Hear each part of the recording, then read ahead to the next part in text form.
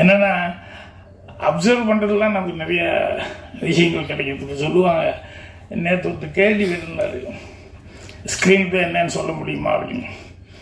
அது கொஞ்சம் கஷ்டமான சமாச்சாரம். டக்குன்னு என்னன்னு சொல்ல முடியுமா அப்படின்னா ஒரு சின்ன உதாரணம் தான் சொல்லலாம். அதுதான் எழுதுனேன். என்னென்னா ஒரு குழந்தை வந்து ஐஸ்கிரீம் கடைக்கு வந்தது வந்து ஐஸ்கிரீம் சாப்பிடுது.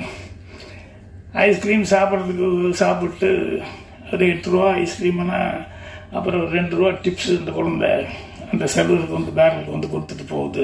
இது கதை. என்னென்னா அந்த குழந்தை ரொம்ப நல்ல கேரக்டர் இந்த இவ்வளோ சின்ன வயசுலேயே அதுக்கு வந்து எவ்வளோ தூரம் ஒரு இது ஒரு டிப்ஸ் கொடுக்கணுங்கிற அந்த நாகரிகம் தெரிஞ்சிருக்கு அப்படின்னு சொல்லி சொல்லக்கூடியது. அந்த பொண்ணு கேரக்டரைசேஷன் அப்படின்னு. இப்போ இந்த ஸ்க்ரீன் ப்ளே பண்ணு அப்படின்னா அது உடனே என்ன அந்த குழந்தை வந்தது வந்து நீ கேட்குது ஐஸ்கிரீம் இதெல்லாம் பட்டு இந்த மேங்கோ ஐஸ்கிரீம் எவ்வளோ அது பத்து ரூபா அப்படின்னு ஒன்று அந்த குழந்தை அப்படி யோசிக்குது. எட்டு ரூபாய்க்கு என்ன ஐஸ்கிரீம் இருக்குன்னு கேட்குது அப்புறம் அவன் ஏதோ ஒரு எட்டு ரூபாய்க்கு ஒரு ஐஸ்கிரீம் சொன்னான். அது கொடுங்க அப்படின்னு சொல்லிச்சு. அதை வாங்கிட்டு அதுக்கப்புறம் அந்த பொண்ணு சாப்பிட்டதுக்கப்புறம் பத்து ரூபா எடுத்து கொடுத்தது அவங்ககிட்ட இந்த பேரர் வந்து கேட்குறான் பாப்பா உங்ககிட்ட தான் பத்து ரூபா இருந்தது. நீ மேங்கோ ஐஸ்கிரீம் முதல்ல கேட்டிய. அப்போவே இந்த பத்து ரூபா இருந்ததில்ல வாங்கி சாப்பிட்டுக்கலாமில்ல? ஏன் எட்டு ரூபா ஐஸ்கிரீம் வாங்கி சாப்பிட்டேன்னு? இல்லை பத்து ரூபா ஐஸ்கிரீம் சாப்பிட்டுனா உங்களுக்கு நான் ரெண்டு ரூபா டிப்ஸ் கொடுக்க முடியாது. வச்சுக்கோன்னு எழுந்திரிச்சு போச்சு. ஸோ ஒரே மேட்ரு தான். அது கொஞ்சம் அதில் சின்ன விஷயத்தை ஒன்று ஆட் பண்ணணும்னு சொன்னால் ஸ்க்ரீன் பிளேயில் இன்னும் கொஞ்சம் ஆழமாக சுவாரஸ்யமாக மனசுக்குள்ளே பதியும். ஸோ இது வந்து அனுபவத்தில் தான் கற்றுக்க முடியுமே ஒழிய இதை சொல்லி கொடுன்னா ஏதாவது அப்பப்போ இப்படி சில உதாரணங்கள்லாம் சொல்ல முடியுமோ ஒழிய இதை டக்கு டக்குன்னு சின்ன சிம்பிளாக சொல்லு அப்படின்னு சொல்லி சொன்னோம்னா கஷ்டமாக இருக்கும். ஃபைனான்ஸ் இருக்கு இன்னைக்கு பேசினார். பேசும்போது ரொம்ப சுருக்கமாக பேசினார் அவர். இருக்கிறதுலே அவர் தான் ரொம்ப கம்மியாக பேச நினைக்கிறேன். வீட்டில் எப்பவுமே எனக்கு அவங்களுக்கு செட் ஆகி வராது ஏன்னா நான் சினிமா அது இதுன்னு இந்த ஆசை கேட்கறதுனால எங்கள் அண்ணன் எப்பவும் பெல்ட் எடுத்துகிட்டே துரத்துவார். என்னடா அது அப்படின்ட்டு. மேலே எனக்கு பிடிக்கல வீட்டில் இருக்கிறது அப்புறம் எங்கள் அம்மாக்கிட்ட ஒரே சண்டை போட்டு நான் போய் மிலிட்டரியில் சேர்ந்துக்கிறேன். என்னை எப்படியா சேர்த்து விட்டேன் இல்லைன்னா ஏதாவது பண்ணிக்கோ அப்படின்னு எங்கள் அம்மா கிட்ட பெரிய தகராறு.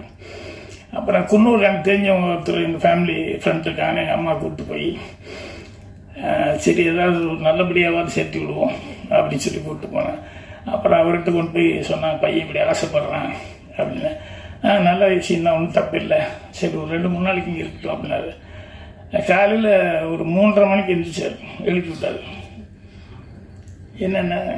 இல்லை எங்க கூட வா கொஞ்சம். அதில் இங்கே இந்நேரத்துக்கு மூன்றரை மணிக்கு ஒருத்தருமே இல்லை. அதுவும் குளிர் வேறு. அங்கே என்னடா இந்நேரத்துக்கு கூப்பிட்டு போகிறாருன்னா ஒரு நாலு மணிக்கு கூப்பிட்டு ஒரு இடத்துல உட்கார வச்சார். அது குடிச்ச ஒரு மாதிரி ரோட்டு மேலே. எதுக்குங்க என்ன? அப்படியே உட்காட்டுறது கொஞ்ச நேரம் அப்படிங்க அப்போ டொப்பு டொப்பு டொப்பு டொப்பு டொப்புன்னு சத்தம் பார்த்தா ஷூஸு எல்லாம் காலையில் ஓடி வந்துட்டுருக்காங்க ஜாகிங் மாதிரி. இவங்க எல்லாம் மீட்டிங் ட்ரெயினிங் இருக்கிறதுக்காக வந்தவங்க. நாலரை மணி. உன்னை எழுப்பணும்னு இவ்வளோ யோசிச்சேன் ஆனால் டெய்லி உங்கள் வேலையே இப்படி தான் அப்படின்னு ஒன்று அப்படியே முடிக்கிறேன் இது மட்டும் இல்லை இப்போ போய் உடனே சாப்பிட்டு படுத்து தூங்க முடியாது. அதுக்கு கிரவுண்ட் அங்கே போகலான்னாரு இல்லைங்க ஊருக்கே போகலாங்க அப்போ அவனுடைய கஷ்டம் என்னன்னு தெரிஞ்சுது. ஆனால் பின்னால் என்ன புரிஞ்சுக்கிட்டேன்னா நம்ம என்ன தப்பு பண்ணோன்னு புரிஞ்சுது. என்னென்னா அது வந்து மில்லில் சேரணும்னா நாட்டுக்கு கொஞ்சமாக அந்த அக்கறை இருக்கணும். நாட்டுப்பற்று அதெல்லாம் வச்சுக்கிட்டு போயிருந்தோம்னா அது இன்வால்வ் ஆகி இருக்க முடியும். சும்மா வேற ஒன்றுமே வழி இல்லை வா அப்படின்னு சொல்லி போனோம்னா சினிமாவில் கூட சில பேர் சொல்லுவாங்க ஏங்க டேரக்டர் அவங்க இல்லை வேறு எதுவும் கிடைக்கிறதுனால இல்லைம்மா. நான் கரெக்டாக தான் சொல்கிறேன் அப்படின்னு நினச்சிக்குவேன் சில படங்கள்லாம் பார்க்கும்போது. அந்த மாதிரி அனுபவங்கள் வந்து ஒவ்வொரு இடத்துக்கு போகும்போது ஒவ்வொன்றும் நமக்கு நிறைய விஷயங்களை வந்து கற்றுக் கொடுக்கும். இப்போ இல்லை சுந்தர் வந்து அதை பற்றி கூட ஒரு ஒரு ஆர்டிக்கிள் லென்த்தாக போட்டிருந்தேன் என்னென்னா ஒருத்தருக்கு இதே மாதிரி தான் ஒரு கோலம் நடந்தால் அந்த இடத்துல போய் அந்த ஸ்பாட்டில் போய் நின்னான்னா அதை பார்த்துட்டு அங்கேயே பார்த்துக்கிட்டே இருந்தான்னா அவனுக்கு டக்குன்னு கொஞ்சம் ஃப்ளாஷ்பேக் மாதிரி அங்கே என்ன நடந்திருக்க கூடும் அப்படிங்கிறது வந்து அவனால் ஓரளவுக்கு அவனுக்கு அவனை எரியாமல் அது அங்கே நடந்து சில இன்சிடென்ட்ஸ் அப்படி வரும். அந்த மாதிரி வந்து சில பேர்த்துக்கு வந்து அது உண்டு.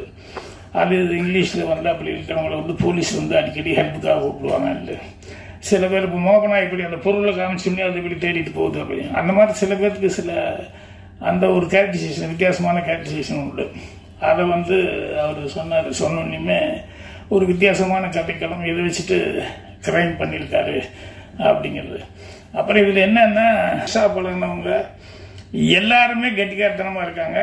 அதில் முதல் பேசினாங்க பிரியதர்சாமி அவங்க.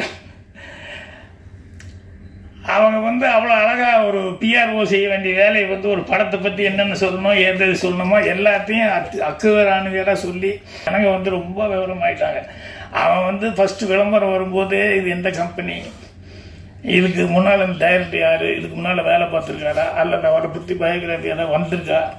அப்படின்னு சொல்லிட்டு அவன் நல்லா அப்சர்வ் பண்ணிட்டு அதெல்லாம் பண்ணிக்கிட்டு தான் வந்து